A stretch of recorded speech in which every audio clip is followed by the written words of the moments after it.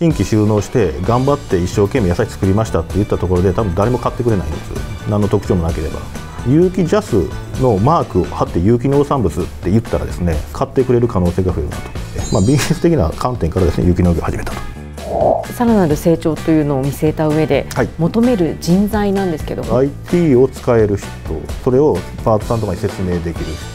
なんで農業が大好きで農作業はめっちゃ得意な人あんまりいらないと。そうですよね。そもそも IoT 化して標準化してるわけですからね。あそうです、ね、それをうまく使いこなせる人そうです。それが必要ですよね。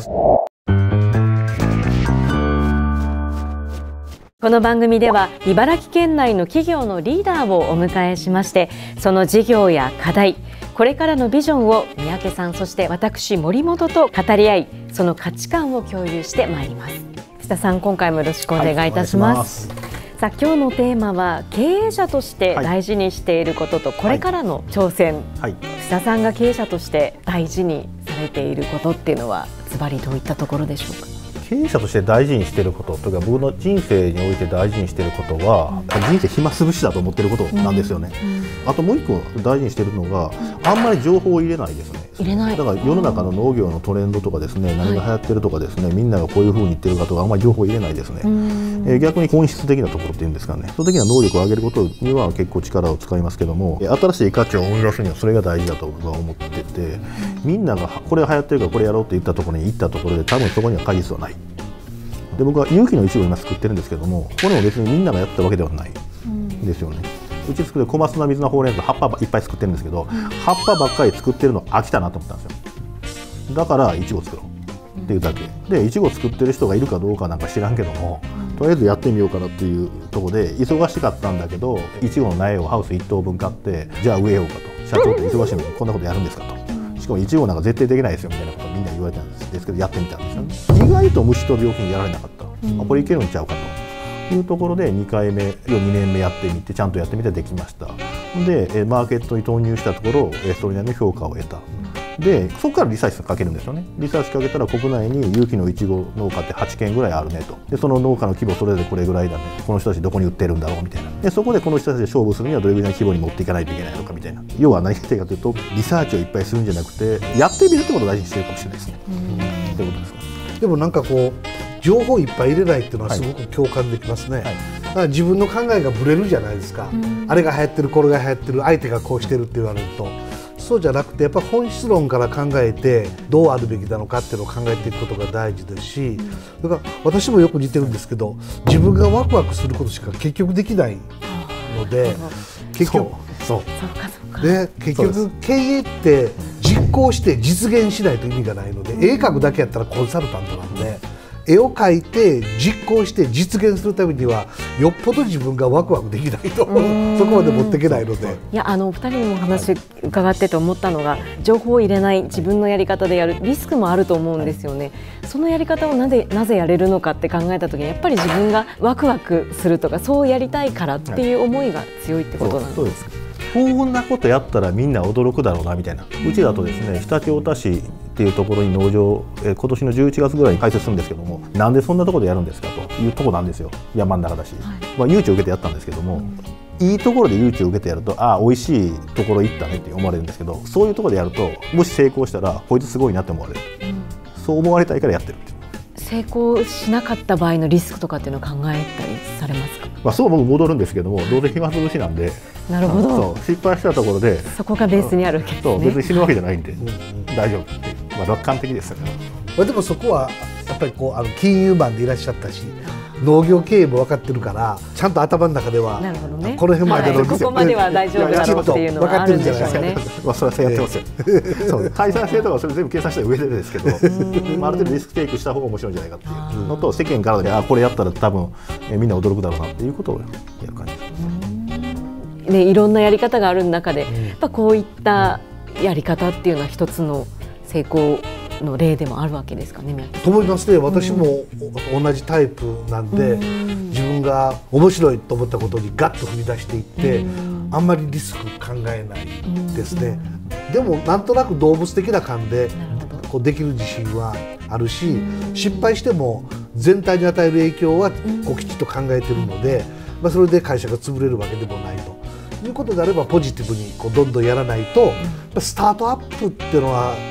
それをしないとスケールしないと思うんですね。そうするとスモールビジネス商売で終わっちゃうので、やっぱりスタートアップがあの小商売で終わらないためには、そういうチャレンジ精神というのは素晴らしいと思いますね。必要なことだと思いますね。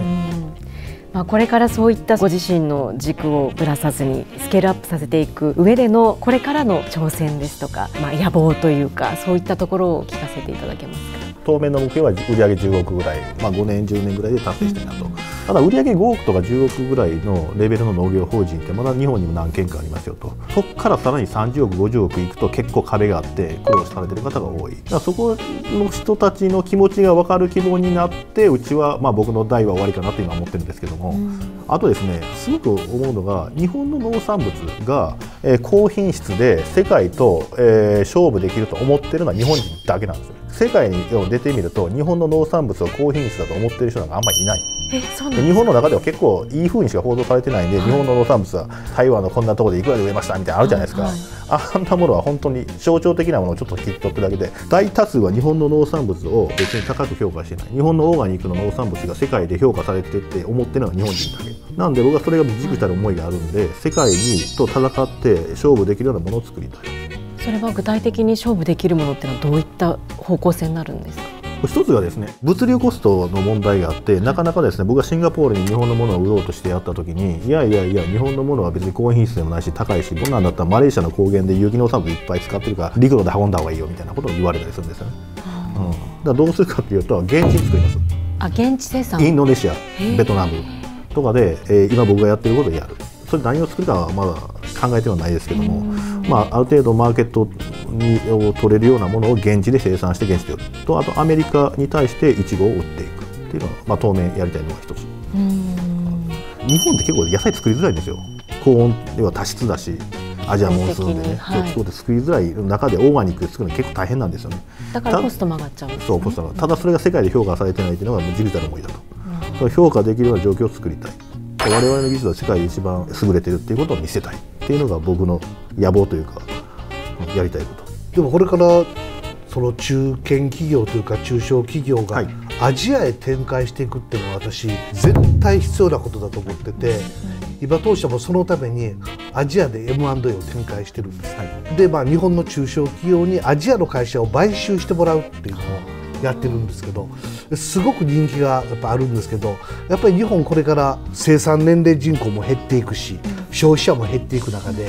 ぱり日本の素晴らしい技術をアジアに持っていってアジア無限のマーケットがあるし労働力があるのでそこでガッとスケールするっていうのはめちゃくちゃ夢があると思いますね。その中で先ほどおっしゃったコストの問題があるという中でやっぱり現地で作っていくっていうのはかなりその他を見てもまだやってないところではあるんでしょうか？そうですね一部やってる方はおられるんですけども、全然それはまだ主流じゃないんで、うん、えー、それはやっていきたいなと。うち外国人技能実習インドネシアから来ててですねインドネシアってすごいですよね、えっと、70%の富が1%の人に集まってるような要は貧富の差がすごいんですよね。貧しいところに行ってる子たちと一緒に事業を立ち上げて戦いたいなっていう、楽しそうじゃないですか。農業やってるのもそのそのそれも強いですよね。農業で産業の中ではかなり劣後してて他の産業に比べたら全然利益率も低いしですね。や単純作業の連続で全然面白くないやみたいな産業をいかに面白い産業に変えるのかっていうのは結構人生をかける意味があるのかなと思ったりとかですね。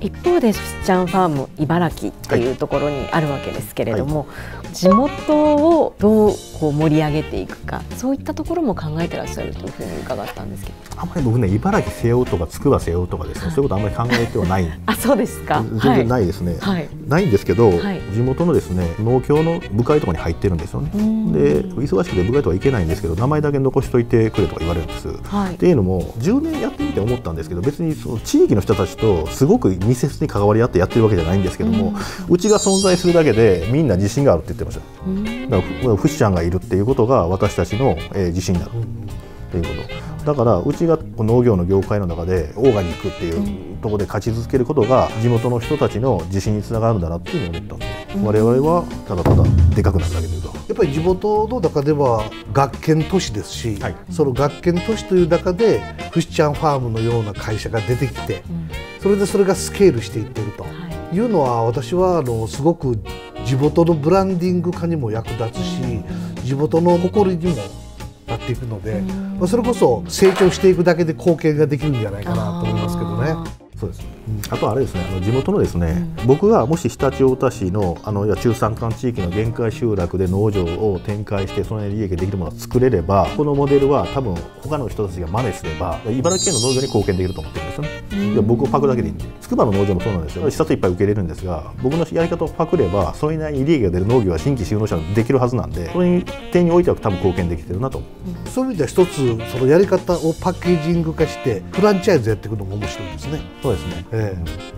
これから農業をやりたいっていう、はい、まあ、若い人の話もよく聞くんですけど、はい、どうしていいかわからない、はい、だけど藤田さんに聞けば資金調達から始まって、農業のやり方まで全てパッケージできますから。そうですね、うん。まあ、それはそれでいいんですけどもでも農業を、えっと、志す人って全部一から自分でやりたいと思うんですよフランチャイズでやるとなるとこれ多分企業とかだったらもしかしたらいいのかもしれないけど、うん、青年一人が農業を始めるっていう時にフランチャイズで僕の傘下に入るっていうのはあんまりやりたくないっていう人多いかなと思あなるほどね、うん、なんかこう職人的に農業をコツコツやりたいっていう人も、まあ、タイプとしていますわね、はい、そういう人はダメですよね、はい、ちょっと違いますよね,、やっぱり事業として考える人でないと、そうですね、でもねこれからそういう事業として農業に関わりたいっていうか、もしかしたら、ね、出てくるかもしれないのでそういったところのこう受け皿にはなるかもしれないですよね。ではですねいよいよ来週次回が最終回ということなんですけれども、はい、またちょっと改めていろいろと来週も伺っていきたいと思います。はい、茨城出身土浦高校卒業の小倉です。日本 M&A センターは茨城経営相談窓口を開設しました。後継ぎがいないもっと会社を大きくしたい人手不足に悩んでいるそんな経営者の方はぜひお気軽にご相談ください。私小倉がいつでも駆けつけます。茨城での経営のご相談は日本 M&A センター茨城経営相談窓口まで。フリーダイヤル0120-03の4150 03の良いご縁におかけください。日本 M&A センタープレゼンツ。三宅卓の経営天国 in 茨城。ここまでのご案内は三宅卓とそして森本智子でした。